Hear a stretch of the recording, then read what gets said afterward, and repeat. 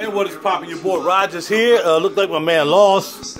You know what I mean? I like to pick the underdogs, but uh, and I'm kind of glad I ain't stay up to watch that because uh, I heard it was a good fight until he got knocked out, Kell Brook. Up until that point, they said it was giving up a good fight, man. Listen to all the commentators this morning. Hopefully, I'll get to see it. Thanks to ESPN and Hulu and uh, Xfinity for nothing, or me wasting an hour and a half of my time trying to get that thing hooked up on my phone and on my TV, and never got it hooked up. So thank y'all for nothing. Take my twelve dollars, thirteen dollars and you know what to do with it. Yeah, take it and bank it, I guess.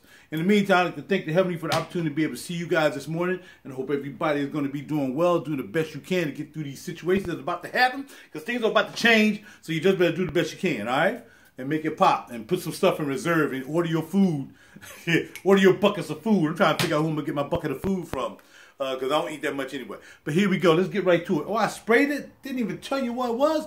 Fade Phaedon by Oliban. The story is I went to Sniffapalooza. No, you guys didn't have a chance to really, a lot of guys a chance to do Sniffapalooza. But I went to Sniffapalooza and that's when Osswald was open on Sunday, so thank goodness I was able to go into Osswald. And I could have bought anything I wanted in Osswald that day, but you know, I was like, went around there, I was going to buy the uh, Tabac uh, Rouge that was the uh, Tom Ford knockoff. I'm like, nah, then I smelled this right here, Oliban.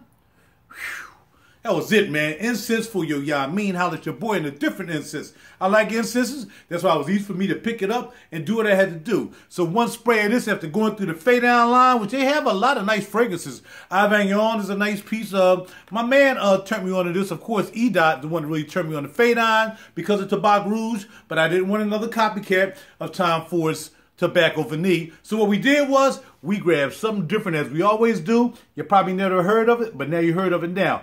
Phaedon, Oliban, buy it, incense, let's go. I'm out, y'all.